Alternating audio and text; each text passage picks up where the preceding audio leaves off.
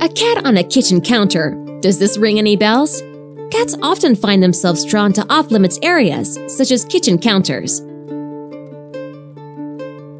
They're curious creatures who enjoy heights, kitchen aromas, the taste of fresh running water. Having many things to knock over is only a plus. But how to keep them off the kitchen counter? There are seven ways. Number 1. Install cat furniture. To turn their attention away from the counter, install a cat tree, a window perch, or a climbing tower so they can blow off some steam. To make the perch more appealing, hide some yummy treats at the top. That'll motivate your cat to climb.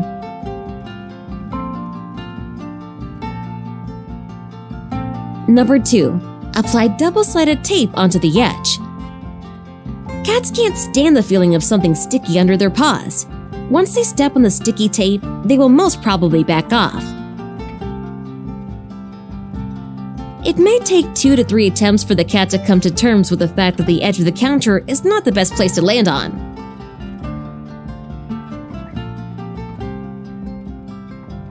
Number 3. Clean your countertop.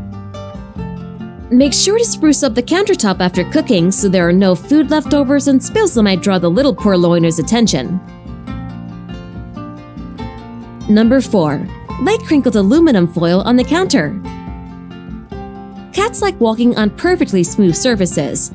A rough surface of crinkled aluminum foil will deter the cat from waltzing around. A bonus deterrent is the noise that the foil makes while being walked on. Cats have sensitive hearing and might find the sound very unpleasant. Number 5. Move chairs or furniture they use. If your cat gets on the countertop using a chair, you can deter them by simply moving the chair away. Number 6. The water issue. If your cat is a fan of drinking from the faucet, there might be something wrong with their water bowl.